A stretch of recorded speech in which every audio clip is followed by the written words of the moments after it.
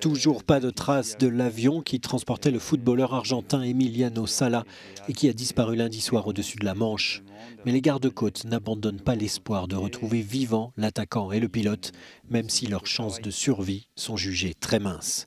Pour la police de Guernsey, ils auraient pu se poser quelque part et n'avoir pas encore donné de nouvelles, ou avoir été recueillis par un bateau, ou encore s'être posés sur l'eau et attendre sur le canot de sauvetage qui se trouvait dans l'avion, ou encore enfin s'être écrasés en mer.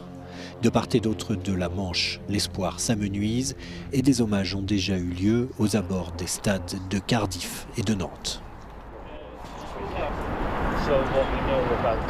Emiliano Sala venait de quitter le club de Nantes où il a fait une dernière saison magnifique et devait commencer à jouer à Cardiff mardi prochain contre Arsenal. Les dirigeants du club ont affirmé n'être pas à l'origine de ce voyage en avion.